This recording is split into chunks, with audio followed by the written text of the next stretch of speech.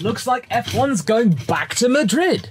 But is it yet another street circuit? Well, not quite. F1 has officially announced the return to Madrid as the home of the Spanish Grand Prix from 2026 through to 2035, replacing the now infamous Circuit de Catalunya, who's been the host since 1991. You know the one. The circuit that everybody loves to hate, and yet when it's being threatened of removal, everybody suddenly loves it again. Right after they got back the lovely final corner. If I were the track organizer and then I found out that Madrid could easily replace us, I'd be just like, oh come on, I did everything you asked me to do! One thing I want to make absolutely clear here is that this is not replacing the Circuit de Catalunya entirely on the F1 calendar.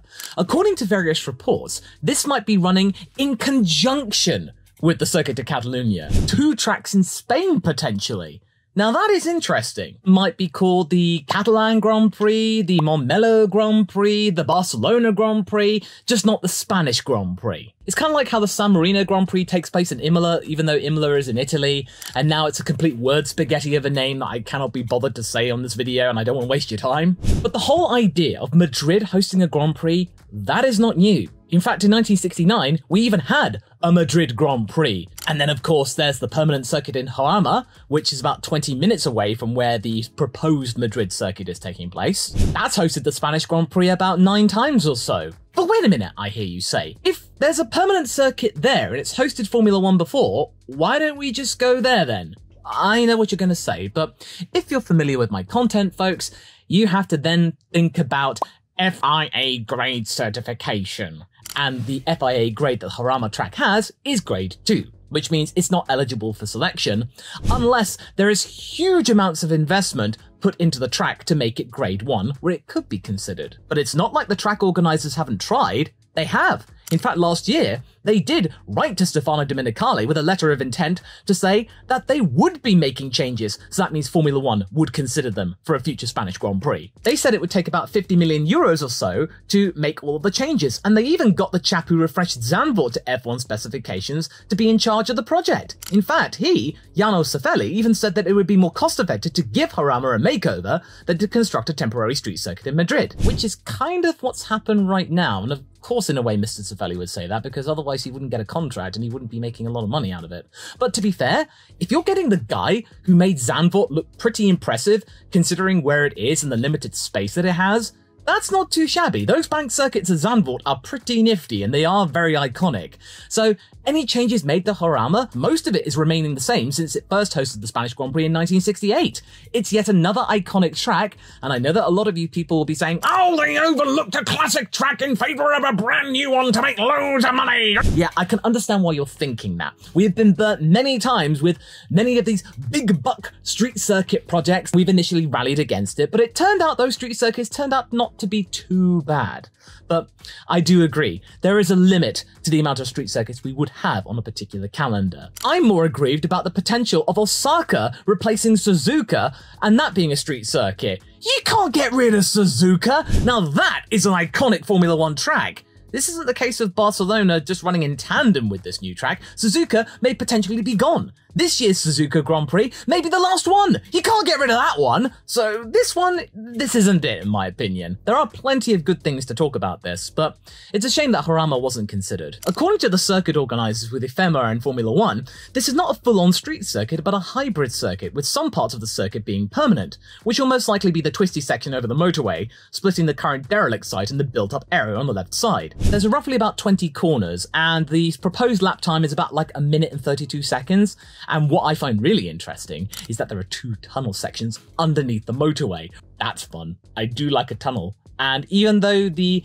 F1 cars currently don't make a really exciting sound, remember, this track is going to be coming in 2026, and they are promising to have more exciting sounds for the brand new regulation cars. So, two tunnel sections? I really hope they put some microphones down there. Oh, it's going to be so good. It's about 5.4 kilometers in length or so, with a potential projected audience cap of 140,000 on race day, which would be the biggest single day figure on the entire Formula One calendar. And of course, there's going to be plenty of VIP sections. I really wish they didn't talk about that kind of stuff because we Formula One fans don't care about that kind of stuff. You know, we just want to know, can you get there? Are there places to go and is it cheap? Well, I hope it's certainly a lot cheaper than the British Grand Prix. My own home circuit, I have no interest in going to because it's too darn expensive. But I don't think this entire project is soulless or a cash grab or something like that. This isn't a Visa Cash App Racing Bull sort of affair, or what we like to call it here, VCARB. Now, this seems to be all part of the plan for F1 to become net zero by 2030 without going fully electric, which they can't do by the way since Formula E has exclusive rights to an all-electric series until 2039, so Formula 1 can't do that. So don't worry, Formula 1 isn't going all electric. Now, before all that, I was watching the public presentation you gotta listen to this. Or as Carlos Sainz would put it when he was talking about his pancakes, he's so good. But the real reason we're going to this track over the likes of Jarama or even Jerez, which is a grade 1 track by the way, is that this is all part of the plan for F1 to reduce carbon emissions and being more kind to the environment through transporting stuff a lot more effectively to the track since the airport for Madrid is basically 5 minutes drive away and in theory, according to the predictions from the organisers of the track, 90% of public spectators could get to the track through public transportation either through public links from the airport or from the city or from various other locales through buses and trains. So long as it's safe, reliable, and frequent, the means to get to the circuit and from the circuit without too much of a cramming in situation, that could be good. It would make it so stressless. In fact, if there are really good links from the airport to the circuit, I probably would even go. I could just fly to Madrid, go and see the track, and then go home again all in the space of a day, easily, instead of having to traipse hours and hours to a circuit and then try and get the last flight home or something. That is a really good noble idea in my opinion. I like that angle. They really should lean into that more. Because as we Formula 1 fans want to know, is it easy to get to and is it cheap? I hope it is. Because most people who will be going to this Grand Prix will come from different countries, so to make it easy to get to the track and then go home, that's really good. With Jarama and Jerez, you would have more limited options in terms of public transportations, and the freight logistics would be a little bit more tricky since you would have to use the motorway guaranteed, instead of probably just going from the airport and then just a quick little drive and there you're there. It's all to do with convenience, creating more jobs, and most importantly, it adds more money to the Madrid economy, about roughly a half a billion euros that they estimate. And considering what we saw in the likes of that Top Gear episode where the three guys made the Madrid Grand Prix part of a derelict area of Madrid, it's pretty necessary. Madrid has been battered over the years due to various financial crises and whatnot. In fact, Spain's been through the ringers quite a bit, so this trying to prop up the economy, that can only be a good thing, right? Means everybody benefits, hopefully. So in a way, I can't be mad with F1 about this particular circuit. It doesn't seem like a bad idea. This seems like a sustainability effort rather than just, I want some of that money, please. Thank you very much. Certain areas of the world which are kind of dubious. It's not nearly as disruptive as the likes of Baku, Vegas, and Monaco on the local area. You don't have to close the track for multiple days just to get it all up and going. You don't have to spend months slowly putting it together and then causing traffic jams amongst people. And again, it's making use of land which is currently going unused. And they could make it look really, really nice. You can make yet another park. As for the circuit itself, to me, on first glance, it looks like a dog looking upwards and sticking its tongue out in my eyes, albeit a very big tongue. And yes, I know, over the course of many weeks, there have been rumors that there's a roundabout section knocking around, but I'm pretty sure that they're probably only going to use a tiny sliver of it and then make the proper main circuit of itself just go past and then use a little kink on it or something. It's looking much better than the initially suspected layout, which we initially had, whose twisty section basically looked like a shadow puppet claw hand. Yeah, kind of like. There are a couple of 90 degree turns, but they don't seem to populate the entire circuit. It's not like a stop start motif like we see in Baku. There's that really tight left hand turn one, which in of itself is less common in F1. The most similar tightness and leftness I can think of is Tamburello at Imola and turns one and two at Jeddah. And they do pull up some good moments because remember the situation with Fernando and Esteban at Jeddah? Jeddah that one year.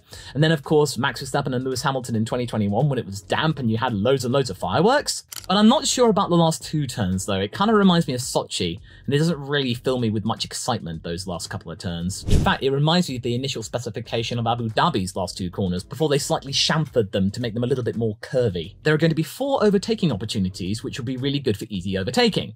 As far as I can tell, I'm not too sure about that one. There are two that I think of, going around the back straight about turn four and five before that supposed roundabout section.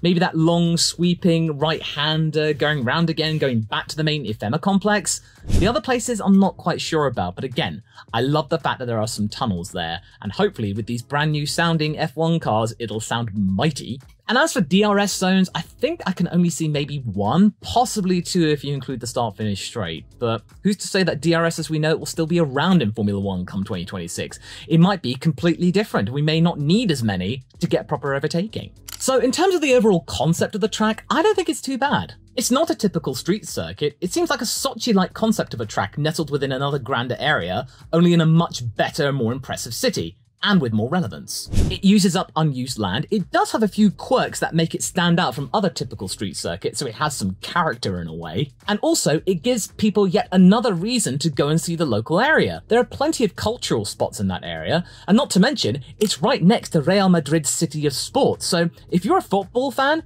you can go and probably see a Real Madrid game or just go and see the local area, which is supported by Real Madrid. This is just yet another use of that particular area of land. It's not in the bum end of nowhere like the Korean Grand Prix was meant to be. Oh, remember that one? They were promising to build a, a big metropolis like city thing with the Korean Grand Prix circuit at the heart of it all.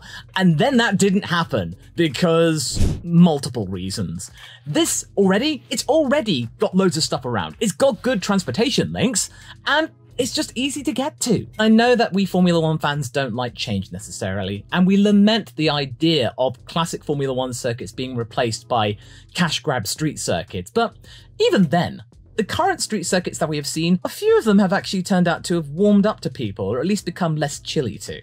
The Corniche circuit, for example. Many people who play the F1 game absolutely adore the track because there's a lot of fun in terms of playing. The Baku circuit, that's managed to warm up many people's hearts and it does have its moments. And it does actually carry off a sprint Grand Prix weekend pretty well. And then, of course, there's the Vegas Grand Prix. That turned out better than most feared because, you know, the temperature lent to itself and it gave it a certain other characteristic and it played off pretty well let's just hope that the build up towards that event is far less disruptive for the local populace. And once again, from what I can tell, based on reporters in the area, they are not looking to replace the Circuit de Catalunya. From the looks of it, we are going to have two Spanish circuits, and that is only a good thing. They have a Formula One legacy now, whereas before Fernando Alonso came along, it really wasn't as solid. The Oviedo driver really did give Formula One a little bit of a shot in the arm, and now Formula One is almost as popular as MotoGP is in that country. That is a really good effort from effectively one guy, and Carlos Sainz is now helping to sustain it for a little bit longer. And also, they're not looking to do a tandem sort of thing where they share the Spanish Grand Prix slot on the calendar with another circuit, like what they were hoping to do between 2012 and 2016 with Valencia and the Circuit de Catalunya. They were hoping to share that circuit, but now the Valencia circuit is now remaining abandoned. And in a way, this Madrid circuit is kind of trying to do what the Valencia area did, trying to make use of that spot and give it some more sense of purpose and another reason to go to that area of Valencia. Unfortunately, the track organisers dropped the ball, and we get to where we are today with the area being unused and and the place for many F1 channels to eventually go for a pilgrimage one day. We're not going to be seeing what the Nürburgring and Hockenheim did in sharing the German Grand Prix moniker. Again, I'm more concerned about Suzuka being bumped off the calendar in place of a street circuit in Japan. Yes, I know the idea of a Tokyo street circuit sounds fantastic from the Gran Turismo games, but you can't get rid of Suzuka for that. You just cannot. This idea, though, I think it's got good intentions. Sure, the idea of Formula One and trying to gain as much American money as possible and money from every single source they can find, yes, that's been questionable and something of a major concern for a lot of fans. But this idea, though, I think it's got legs, and I would actually like to see it and make my final judgment when we actually see the track in full action. But I'm a lot more optimistic than the likes of Miami, which is built around a big stadium. This track, though, I think it has potential. And the idea behind it in terms of public sustainability and transportation links being practical, that's a win. So I'm not overly pessimistic about this one. And I think the 2026 cars will have a riot around here. And speaking of the 2026 cars, we now have a better idea about how they will perform and what they will look like. But it doesn't seem to be Max Verstappen's cup of tea. Why doesn't he like it? Well, if you go watch this video next, I will tell you all about these cars. Hmm.